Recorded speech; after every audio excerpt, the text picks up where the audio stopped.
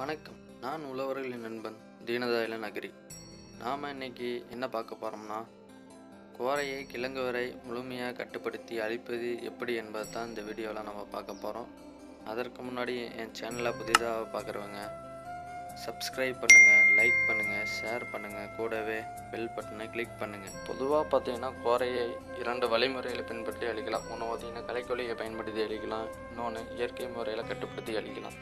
நாம் இப்போ கலைக்கொலியை பயன்படுத்தி எப்படி அழிக்கலாம் என்பதை தான் இப்போ இப்போ ஆக்க போகிறோம் வாங்க பார்க்கலாம். அதே கட்டுப்படுத்த இரண்டு கலைக்கொல்லிகள் நம்ம மார்க்கெட்டில் இருக்குது. என்னென்ன கலைக்கொல்லிகள் நம்ம பார்த்தோம்னா ஒன்று தெனக்கா கம்பெனியோட செம்பராங்கிற மருந்து இன்னொன்று கோத்ரேஜ் கம்பெனியோட பிளாக் செட் மருந்து ரெண்டு கலைக்கொல்லி இருக்குது.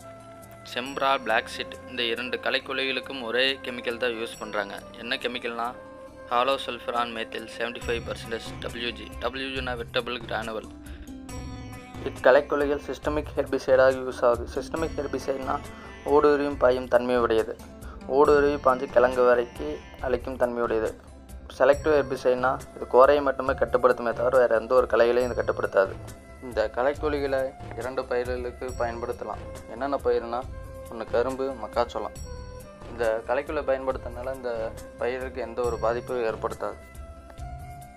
இந்த செம்பராங்கிற மருந்து மூணு பேக்கேஜில் நம்மளுக்கு கிடைக்கிது. மூணு கிராம் பதினெட்டு கிராம் முப்பத்தி ஆறு கிராம். ஒரு ஏக்கராவுக்கு முப்பத்தி ஆறு கிராமை பயன்படுத்தலாம். அது நூற்றம்பது லிட்டரில் தண்ணியில் கலந்து ஸ்ப்ரே பண்ணலாம்.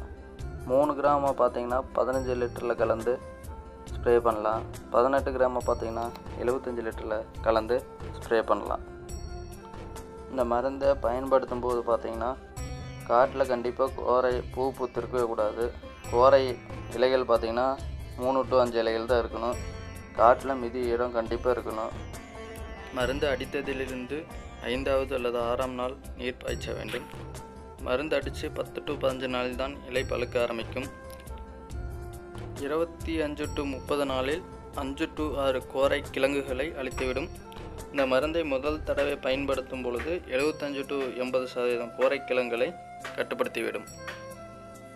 களைக்கொல்லிகள் அடிப்பதற்கு பேட்டரி ஸ்ப்ரேயர் அல்லது ஹேண்ட் ஸ்ப்ரேயர் யூஸ் பண்ணி மருந்து தெளித்தால் நல்ல ரிசல்ட் கிடைக்கும். இக்களைக்கொல்லியை இரண்டு அல்லது மூன்று முறை தொடர்ந்து பயன்படுத்தினால் காட்டில் உள்ள அனைத்து கோரைக்கிழங்குகளையும் முழுவதும் அழித்து விடலாம். இந்த களைக்கொல்லியுடன் வேறு எந்த ஒரு களைக்கொல்லியும் சேர்த்து பயன்படுத்தக்கூடாது. இக்கலைக்கொல்லியை நீர் பாய்ச்சும் வசதியுள்ள நிலத்திற்கு மட்டுமே பயன்படுத்த வேண்டும். மேலும் ஏதேனும் சந்தேகங்கள் இருந்தால் டிஸ்கிரிப்ஷனில் உள்ள தொலைபேசி எண்ணை தொடர்பு கொள்ளவும். அடுத்து வரும் வீடியோவில் இயற்கை முறையில் கோரையை எப்படி கட்டுப்படுத்தி அளிக்கலாம் என்பதை பற்றி காண்போம்.